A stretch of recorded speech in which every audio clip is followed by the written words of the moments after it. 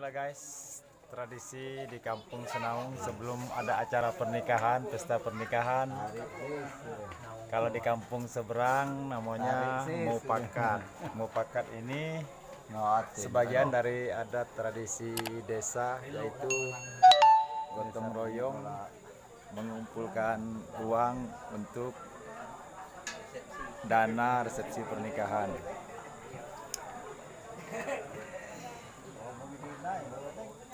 Yang biasa tradisi turun temurun dari nenek moyang dahulu.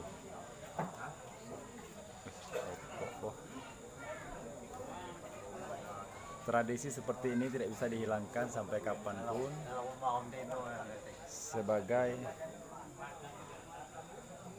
bentuk mengenang pada tetua pendahulu.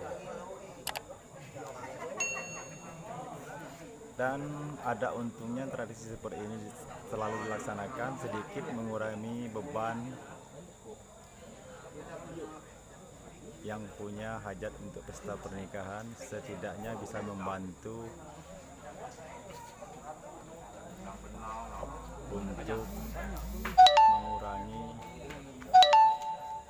beban karena di waktu pesta pernikahan itu menguras biaya minimal 25 juta bisa jadi sampai 50 juta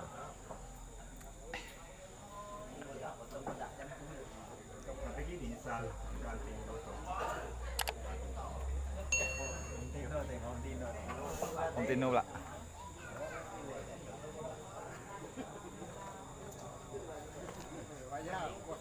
Hah?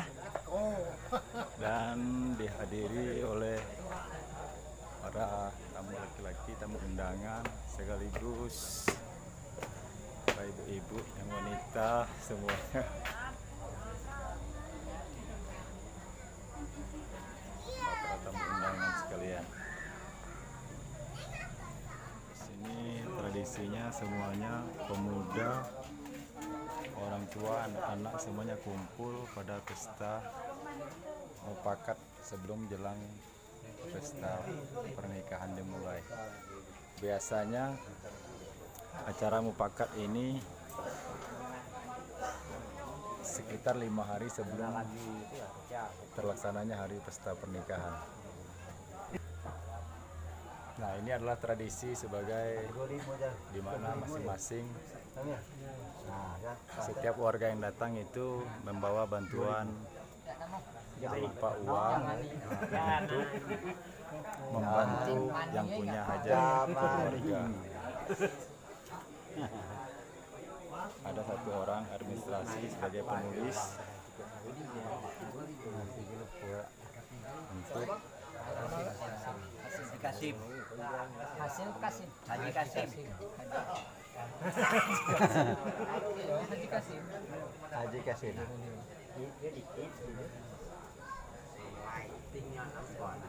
Anwar. Bukan bukan aku nak ambil duit. Foto yang ada di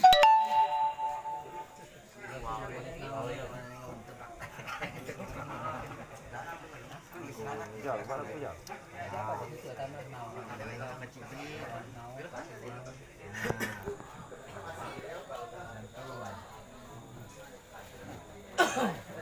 Anwar juga dua setengah. Aku kali. Abang ya? Itu mau tu aku buat sa- sawani mina. Rapi. Ini dua hari. Ini dulu. Saya.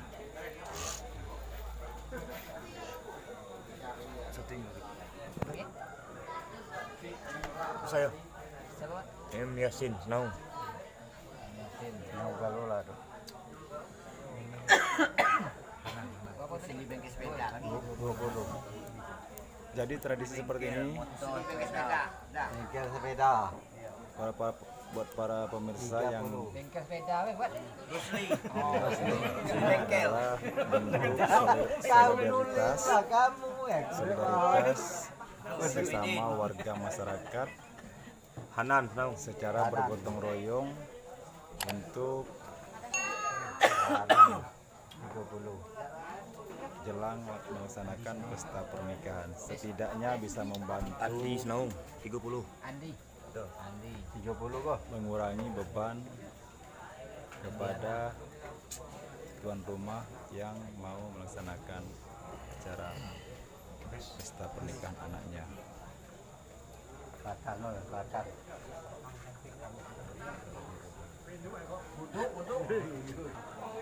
Oke teman-teman semua jangan lupa